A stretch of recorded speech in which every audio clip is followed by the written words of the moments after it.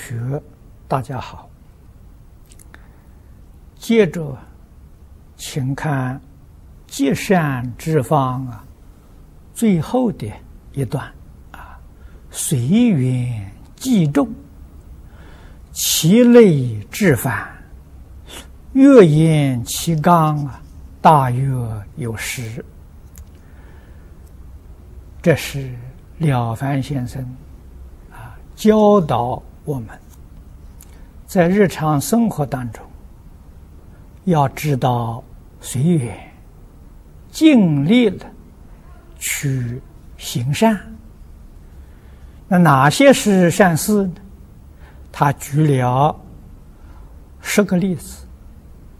啊，第一个是与人为善；第二，爱敬存心；第三。成人之美，第四是劝人为善，第五救人为急，第六心坚大力，第七舍财作福，第八护持正法，第九敬重尊长，第十爱惜物命。这个十条。我们读了以后啊，仔细想一想，确实有必要啊。而这十条在现前社会里面呢，可以说是严重的缺乏，所以社会的动乱不安啊，这个人心惶惶啊，确实是有道理的啊。这个十条。对我们的帮助啊很大。这个了凡先生往下是一条一条为我们说明。先说与人为善，何谓与人为善？这是举古时候的一个例子。习顺在雷泽，见愚者，皆取深谈后者；而老弱则于于急流浅滩之中，恻然哀之而亡于也。这说的舜王啊，大舜。在年轻的时候，雷泽 是湖的名字，在山东啊。那么在湖边呢，当然打鱼的人很多啊。渔者就是打鱼的人，这些人年轻力壮啊。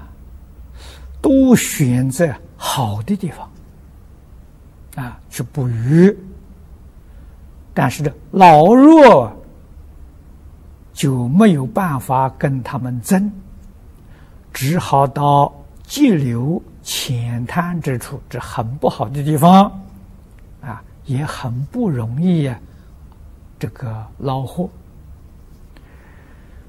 舜看到之后啊，生了。怜悯之心，啊，这个是年轻人呢欺负老弱，对不起老年人，啊，他怎么办呢？他也去捕鱼，啊，他也去，以身作则，啊，做一个榜样呢，给人看。见真者，见逆其过而不谈。见有让者，则欲扬而取法之。他这个方法好啊！看到人在捕鱼的时候互相争执，啊，相争不让，他一句话都不说，啊，不说他们的故事。偶尔见有啊互相谦让的，他就大加赞扬。今年。就过了一年，借以后谈后则相让矣。啊，过了一年之后啊，嗯，由于舜的感化，大家彼此都能够互相啊相让的。夫以顺之明者，其不能出一言教众人哉？乃不以言教而以身转之，此良功苦行也。啊，舜确实有大智慧。啊，他为什么不用言教啊来开导大众？啊，而以身体力行，给大家做一个榜样。这其中的道理，我们要多想想。言教不如身教啊！啊，你教人家做，你自己做不到，没有人相信。尤其在今天的社会，一般大众贪嗔痴慢的习气，染污的比古人不知道。要多十倍、百倍都不止啊！啊，在那个时候，我们可以讲民风还相当淳朴啊！啊，顺这种方法啊，一年就能够收到效果。我们今天要效法大顺的精神，要采取大顺的方法，以身作则，一年收不到效果，啊，至少啊得十年。如果十年能收到效果，那就非常的幸运了。啊，十年收不到效果，二十年、三十年、四十年。持之有恒呢，啊，必定能够感化众生啊。这是以顺的悲心，以顺的善巧方便做一个例子。下面说。吾辈出末世啊！这个末世是佛法里面讲的末法时期啊。释迦牟尼佛他的发运啊，我们在经典上看到是一万两千年啊。第一个一千年呢，叫正法时期。第二个一千年叫相法时期，啊，相法相似已经变质了，啊，往后一万年呢都称为末法时期，啊，那么现在这个末法已经过了一千年了。了凡先生是明朝人，明朝已经是在末法时代了。这个时候，人心逐渐逐渐薄了，没有从前那么样醇厚了。啊，这提特别提出来啊，我们这一辈现在处在末世啊。勿以己之长而盖人，勿以己之善而行人，勿以己之多能而困人。啊这是了凡先生劝导我们啊，在末世千万不要以自己的长处啊去掩盖啊盖过别人别人有不善的事情，做不善事情的人，在现在的社会太多太多了。我们自己虽然行善，绝不可以用善呢来跟他做比较、做较量，不可以。别人能力不及我，不可以把自己的能力去为难别人。啊，我们这个道场有一位悟谦法师，啊，这个人能力很强。过去韩馆长在世的时候，常常给我说。啊，悟谦一个人呢，可以做五个人的事情，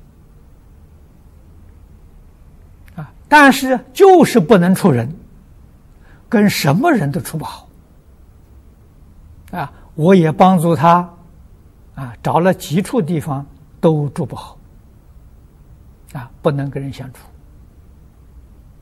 啊，最后我把他送到图恩巴山上，啊，让他去。在那边照顾这个小地方，我把他的名字改了，啊，馆长替他的名字悟谦呢，是大千世界的谦，那个谦的形状啊，像一把宝剑啊，处处啊刺伤人，啊，所以我想这个名字不好，我把它改成谦虚的谦，啊，让他学谦虚。让人让，学人让。他在山上住了一年多，不错，确实天天反省。最后他明白了，他知道他为什么跟别人处不好，就是他做事的速度太快，认真负责，啊，看别人都看不惯，这个就是。以自己的多能而困人呢，所以别人都不喜欢他。啊，这一回头，大家都欢喜他，都赞叹他，都愿意和他相处。人贵自知啊，一定要知道自己的毛病在哪里，把自己的毛病改过来就好了。那才真正是一个善人。收敛才智，若无若虚；见人过失，且含容而掩覆之。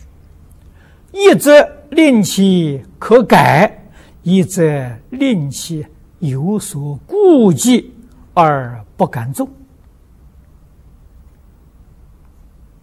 啊那么，这是教我们平常处事待人接物的态度。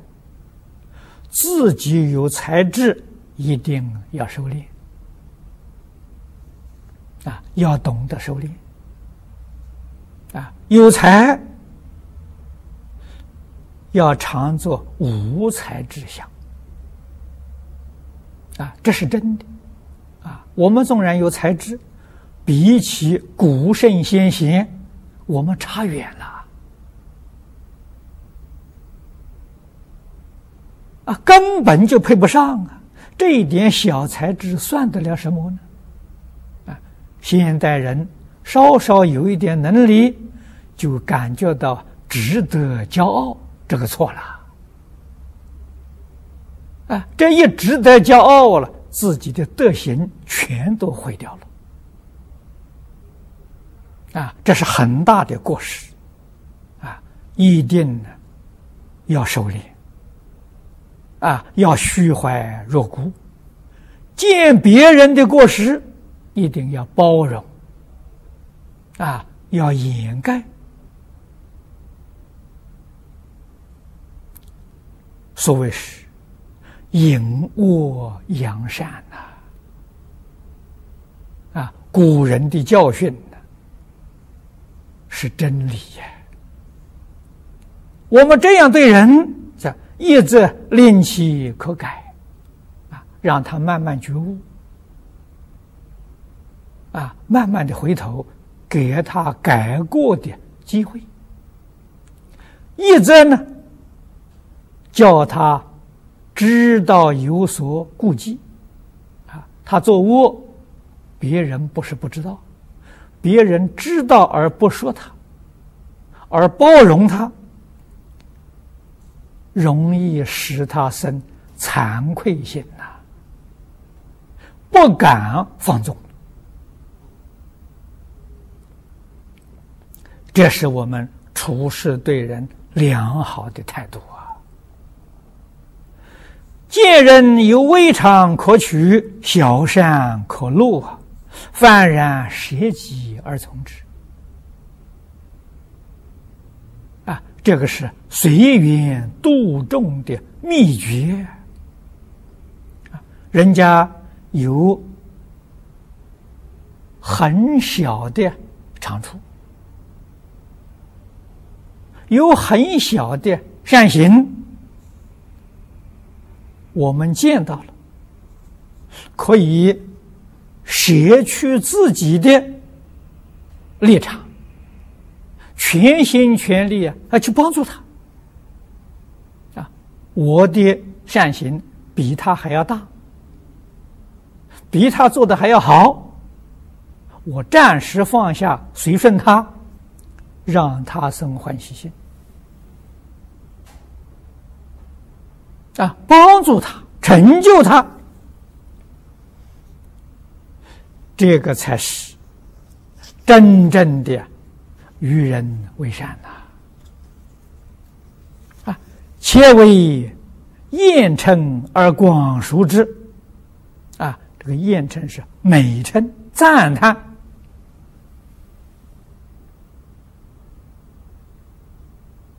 使他了善能够日增呐。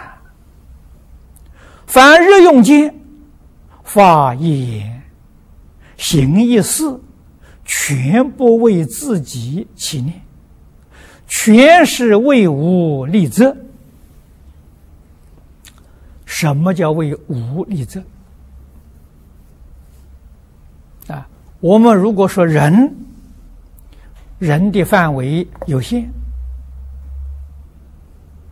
啊，无无可以包括人啊，比如我们今天讲动物，动物可以包括人，但是讲人不包括动物，所以物的意思比人的意思广泛的太多了，不但是为一切人做一个模范呢，这个则就是模范，就是榜样啊。啊，做一个好样子啊！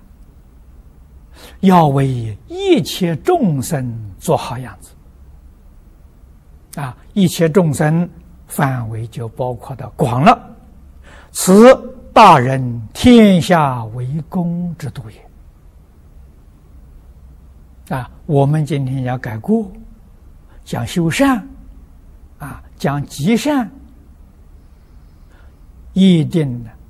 要懂得这个道理，要从拓开心量做起，啊，起心动念不要为自己，啊，为天下，为世界，啊，为社会，为众生，啊，绝没有自己的念头，啊，这个人就称之为大人。这是真正的天下为公。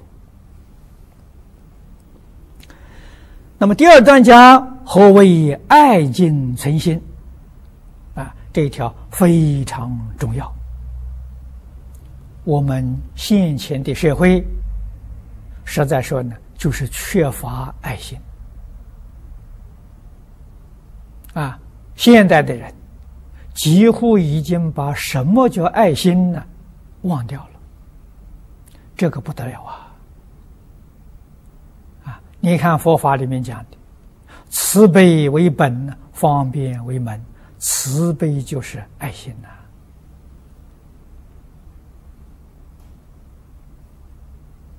啊，今年二零零一年，过年的时候，我们在新加坡，照过去的例子，我们举办了千禧年的温馨晚会。啊，我就想到今年的晚会，我送大家什么礼物呢？啊，想到今天社会普遍没有爱心，啊，我就写了一个“爱”字，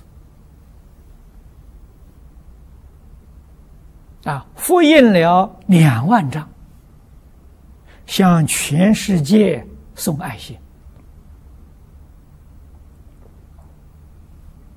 啊，原本的这一张呢，赠送给。新加坡的总理吴国栋先生，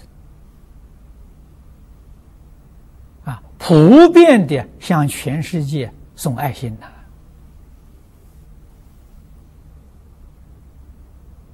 啊，有同修把这个字啊到处去赠送，我听得很欢喜，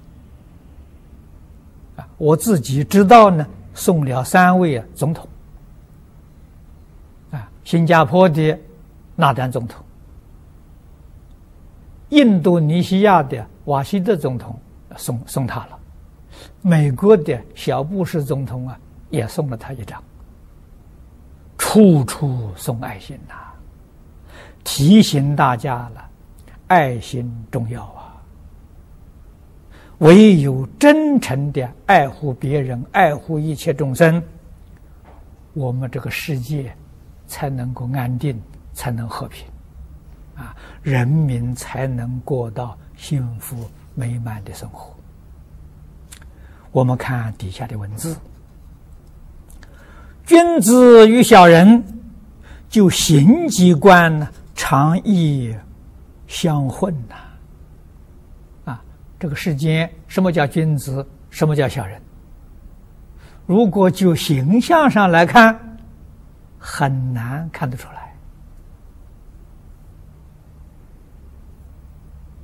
来啊！唯一点存心处，则善恶玄绝，判然如黑白之相反。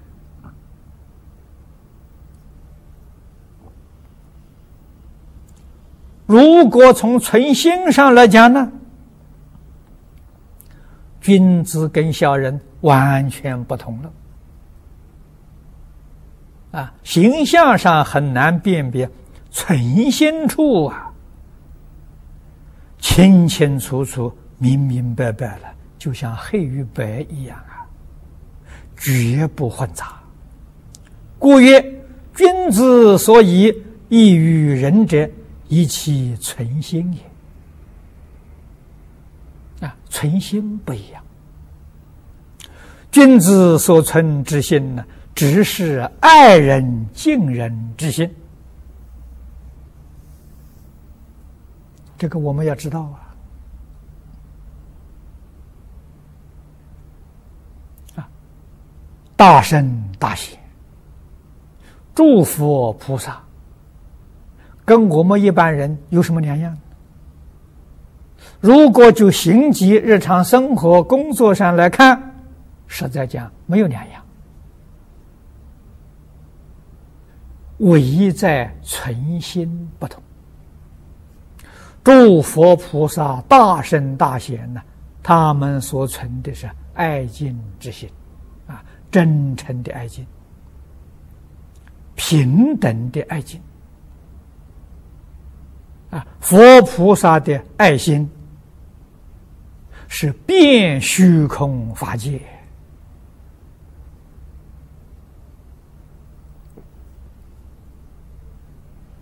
啊！下面文说：盖人有亲疏贵贱，有智欲贤不肖，万品不齐，皆无同胞，皆无一体。谁能懂得这个道理？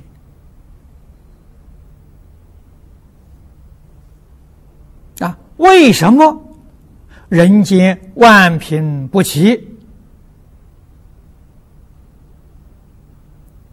这是习然不同啊！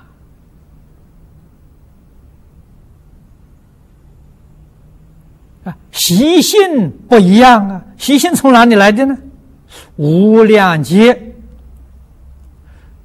善恶心行变现出来的啊！佛法叫业力呀。业力不一样啊，啊，所以才有咸与不孝啊。但是要知道，这些人跟我们是一体啊，皆无同胞。这个事情，如果不是大圣人教导我们。我们没有办法体会到，孔子在《易系辞传》里面说：“人以群分，物以类聚。”啊，又告诉我们：“精气为无，游魂为变。”啊，这些话都是给我们说明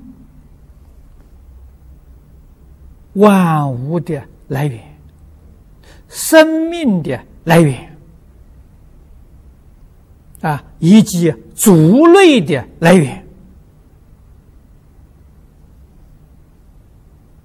这是儒家讲的啊，道家也说天地与我同根。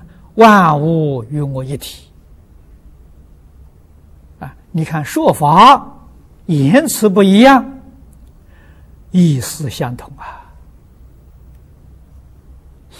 佛家讲唯心所现，唯识所变啊，所以你看看儒释道三家所说的啊，讲宇宙的起源。生命的起源，万物万物品类不齐的差别啊，怎么形成的？这些话都讲得清清楚楚、明明白白啊！我学佛这么多年，把佛菩萨圣贤的教诲啊，我归纳也写成两句。心性幻化虚空法界啊，虚空法界从哪里来的？心性幻化的，《金刚经》上说：“一切有为法，如梦幻泡影。”根深影现过土众生啊，跟我们这个身体啊。国土，今天所说的宇宙之间的星球，以及一切众生，跟我们根深是一，不是二。所以，心性虚空法界一如啊，色身过土众生不二啊。因此。爱敬万品，是真正的自爱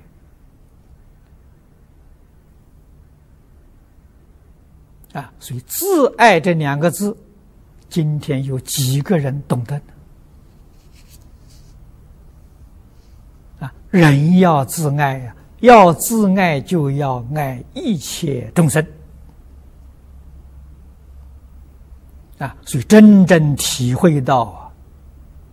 万贫不齐，皆无同胞，皆无一体。这个一句话重要啊！孰非当敬爱者呢？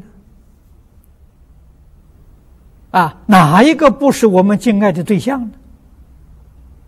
爱敬众人，即是爱敬圣贤。能通众人之智，即是通圣贤之志。或者圣贤之志，本与斯事斯人各得其所！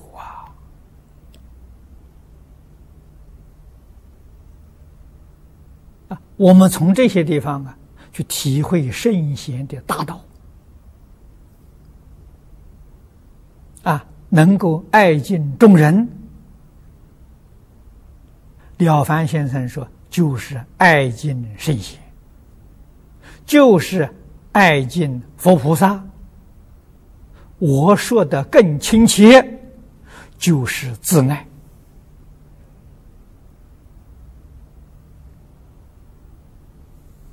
啊，能通圣贤之志，这个通是明了，通达明了啊，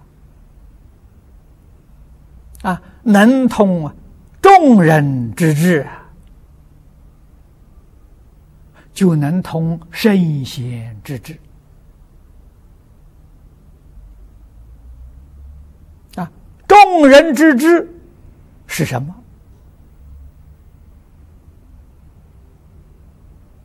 都希望得到圆满幸福的生活，不论是古人、今人啊，中国人、外国人。确确实实不分国家、不分族群、不分宗教，哪一个人不希望自己过得幸福美满？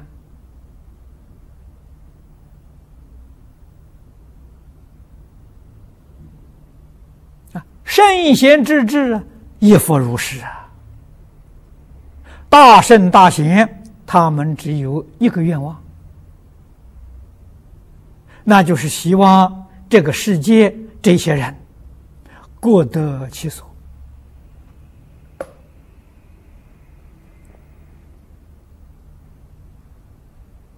啊！古圣先贤，我们看佛菩萨的教诲啊，再仔细观察世间所有宗教的经典，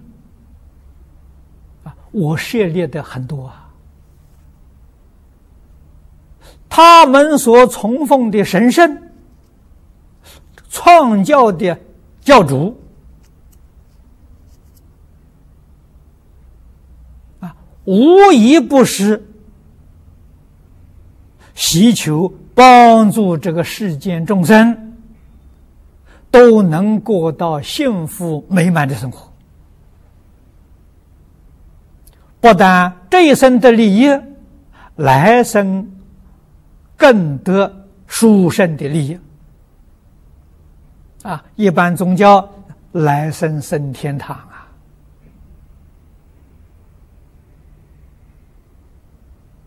啊，佛教的时候劝人生极乐世界，这是圣贤之志啊！五或爱或敬。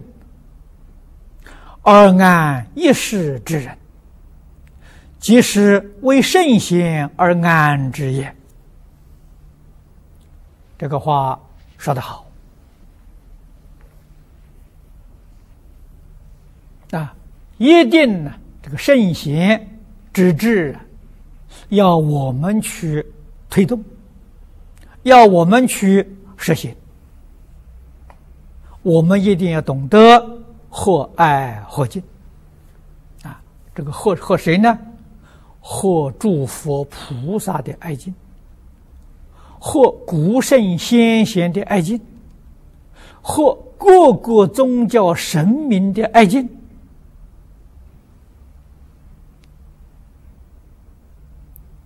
来做安一世之人，先前这个世间的人啊。我们全心全力帮助他了，这就是为圣贤而安民在。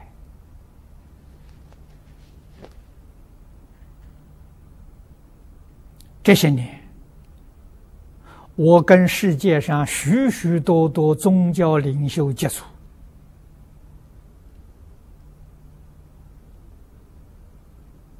我与他们交谈，神爱世人，啊，这是宗教里头常说的。神在哪里？神怎么爱世人？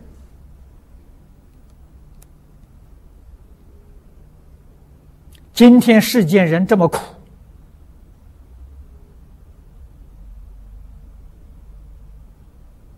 啊！细心去想一想，这句话太空洞了，太抽象了！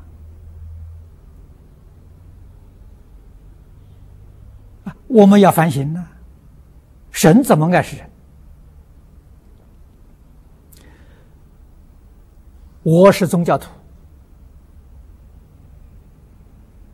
我接受神这个爱呀，神爱我，我要把神对我的爱啊，从我心里面再推开去爱世人，我代表神爱世人，神爱世人才能落实啊！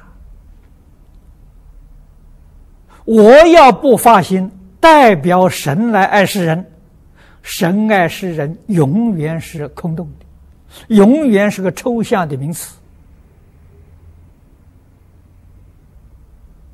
啊，他们听我这个说法，也点头啊。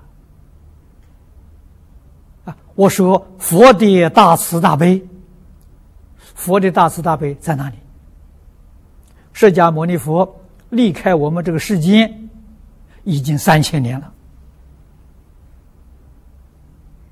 啊！你要说他老人家当年在世间大慈大悲，我们还能讲得通。他不在世了，这个大慈大悲在哪里？所以，佛的学生、佛的弟子，我们接受了佛的慈悲也。我们怎么接受？从经典里面接受的。每一天读经、研究经教、依教奉行，我们得到佛的。慈悲加护啊，啊加持保护啊，我们得到了，应当从自己的内心啊，把佛的慈悲心变成自己的慈悲心，来对待一切众生的啊，落实。佛菩萨的大慈大悲，要我们去做啊！啊，我们见到观世音菩萨，绝对不是恳求观音菩萨慈悲我，这不可能的。啊，泥塑木雕彩画的菩萨像，他怎么能保佑你呢？所谓是泥菩萨过河，自身难保。我们要发扬观世音菩萨大慈大悲、救苦救难的心行呢？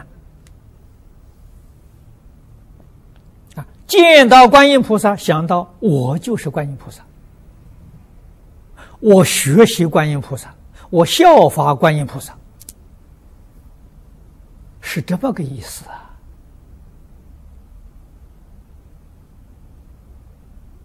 这个是佛法教学的真理呀，要懂得啊！我不做观音菩萨啊，造一个观音菩萨像，以为那就是的，大错特错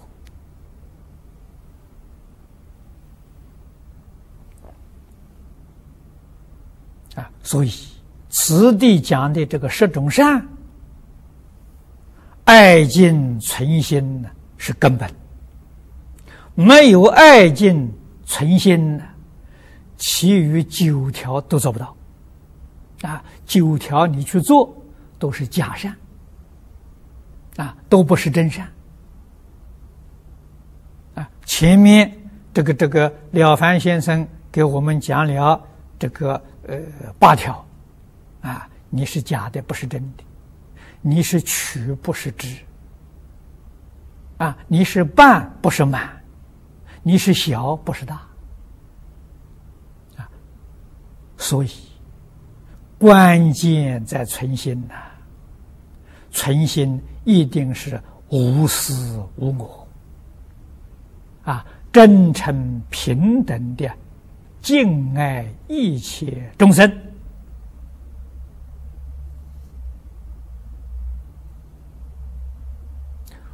诸佛菩萨大圣大贤的大道，我们就得到真传了。真传就是真诚的爱心。这个第三段是何为成人之美？啊，他先举个例子说：“欲知在时。”啊，玉，世间人都非常宝贵它了。啊，中国人爱玉啊，外国人爱钻石啊。啊，钻石跟玉没有开采的时候，抵制皆瓦砾。啊，那是一个万石。跟砖头瓦块没有两样，一文不值啊！追逐则规章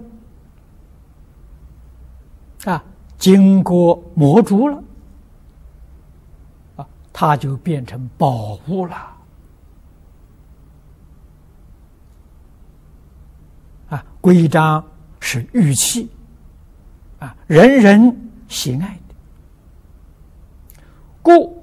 凡见人行一善事，或其人智可取而资可敬，皆须有意而成就之啊！我们看到一个人做一桩善事，这个善事可取；看到这个人呢，还有志向啊，禀赋。还很好，啊，谦虚恭敬，能够接受别人的教诲，这种人就是人才。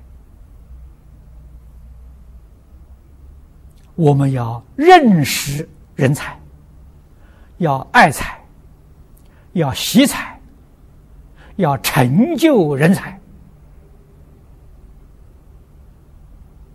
这是善事里面最大的善事啊，积功累德里头最大的功德，我们要懂啊。这个人的志向可取，禀赋可取。我们都要帮助他，有意是帮助他了，啊，奖励他了，扶持他了，啊，何谓之讲戒？何谓之维持？何为百其物而分其棒？物实之成立而后已。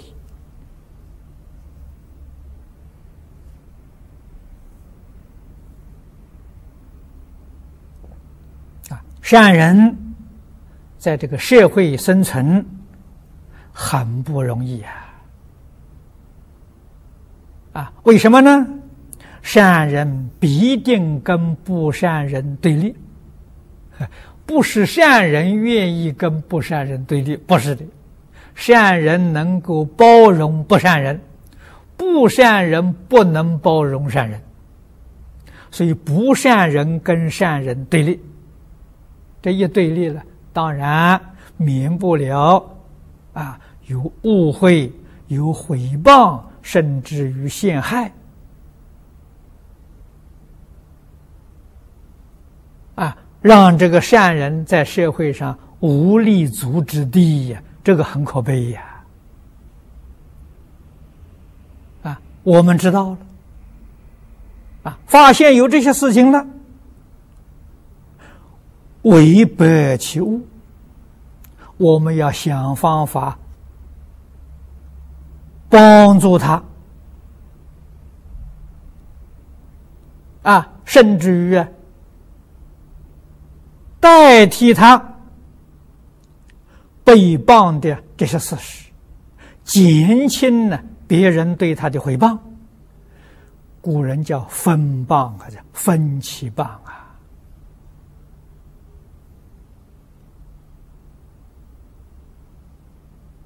这是至是人人才能做得到，普通人做不到啊！务必要使他在社会上能够安身立足。啊能够发扬光大他的善业，二后一啊，二后一是我们才算是尽心尽力了。接着为我们说：“大抵人过恶其非类也，向人之善者少，不善者多。”善人在俗，亦难自理。啊，这种情形自古以来都是这样的。啊，那么我听听到有一些同学告诉我，现在学校里面的学生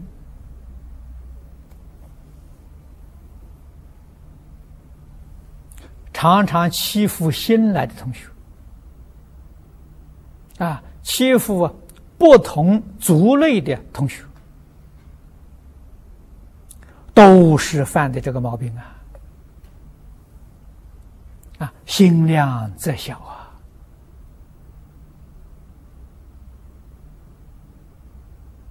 啊，比如说，如果发现这个同学确实有德行、有智慧，啊，也挺能干的。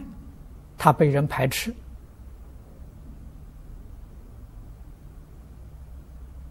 我们应该要帮助他了。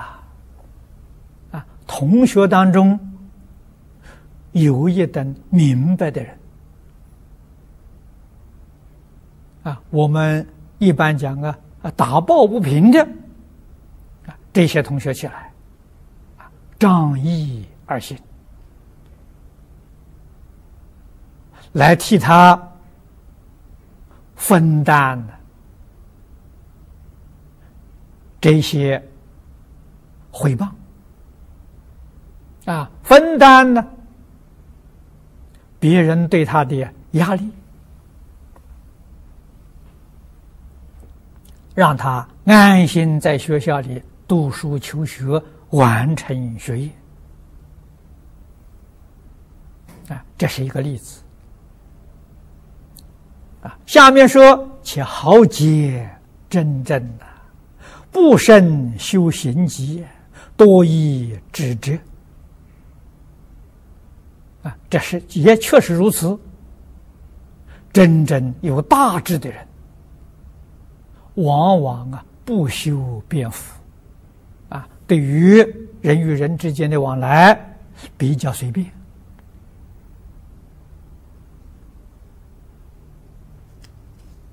啊，那么在这些场合当中啊，容易受到别人指责。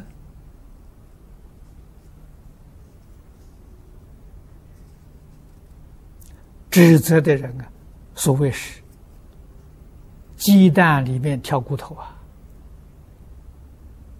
你没有过时，人家还造你谣言；有一些行迹不端呢，就被人家抓作把柄。